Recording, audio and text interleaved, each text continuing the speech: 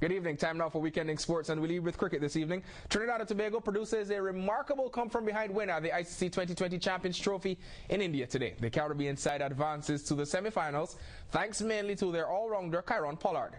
His destructive 54 from 18 balls, giving Trinidad and Tobago a four-wicket victory over the Australian side New South Wales in Hyderabad. Chasing 171 to win, TNT looked down and out at 116 for 8 in the 15th over. Before the powerful all-rounder carted the New South Wales New South Wales bowlers all over the park. His innings included five fours and five sixes, giving Trinidad and Tobago one of the most memorable wins in Twenty20 history brilliant. You know, we always expected an innings like that from Pollard. You know, he came good today, but I can tell you, he's not going to be the only one coming good. We have a lot of other guys who are looking forward and hungry to perform for this team. Well, Trinidad and Tobago will be back in action on Sunday against the Eagles. Now to some football news. Scholars International meet Georgetown in the top of the table clash in the CIFA Premier League this Sunday. The Scholars try to maintain their unbeaten record against Georgetown at the Annex. Georgetown is coming off a tough 2-2 draw with champions Elite last Sunday and will have their hands full with the Scholars who have uh, been in great goal scoring form so far this season. In other matches on this weekend, Bodden Town FC tackles Tigers and Ed Edbush Elite will face Sunset while Future meets Roma. From the top flight of the Cayman Islands football to the development of the girls game here, more than 60 girls have been learning the basics in the, in the Girls Can Play football program at the George Hicks playing field every Saturday morning. We captured the girls going through their paces last Saturday under the direction of the head coach, Sue Greene. Ready? One, two, three. You gotta stop. Right foot on the top of the ball, all right? To teach the girls the fundamentals of the game, um, work with the basics. Um, also, we work with their self-esteem, confidence. Good job! Good job, girls! Go! Keep your ball in front of you so you don't end up chasing your ball, right? This is our third season, um, and working with the parents and showing how important it is that they come out and support their child.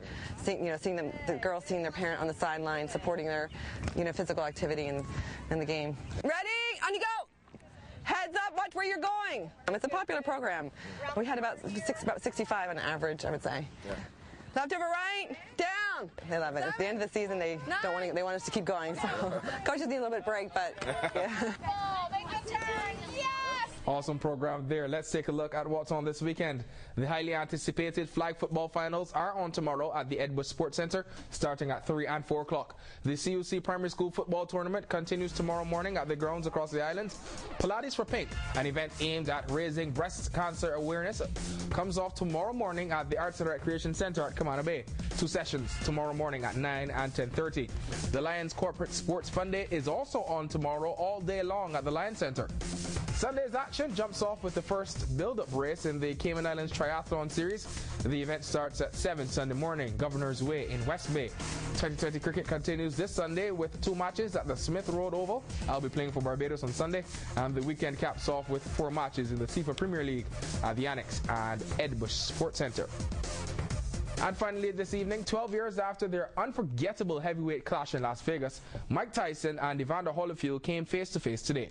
But this time, the two prized fighters weren't battling for the WBA heavyweight title, but they met on a talk show with the host Oprah Winfrey for Tyson to apologize for biting Holyfield's ear off in 1997. Earlier this week, Tyson told Oprah he never apologized to Holyfield sincerely after the incident, but Holyfield, who won the title from Tyson, said he has long forgiven his former rival.